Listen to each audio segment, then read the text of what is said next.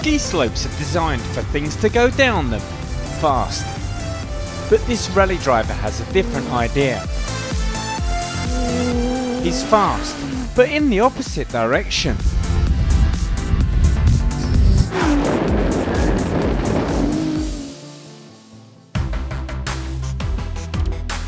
A skilled drifter and rally driver on ice and snow, Robert Larson wanted to showcase his driving in unusual situations and so contacted director of photography Fredrik Jönsson who specialises in car promo films.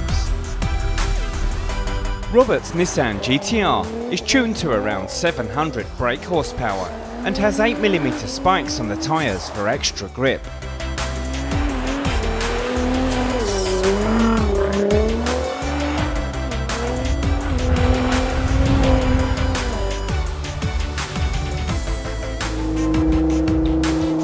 But what could they do that hasn't been done before?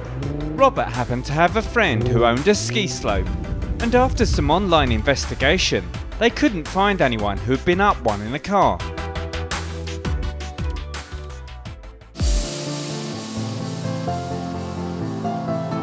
The team only have between 7 and 9 am to film, before members of the public start coming down the slope in the opposite direction.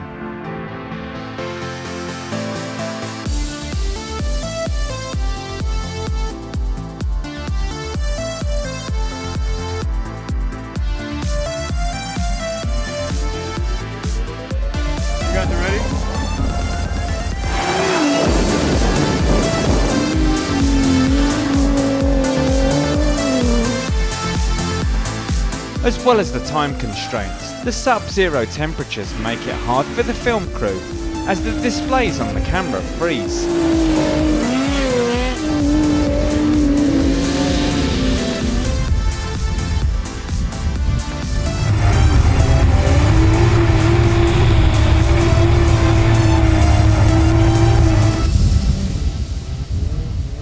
But ultimately they're successful.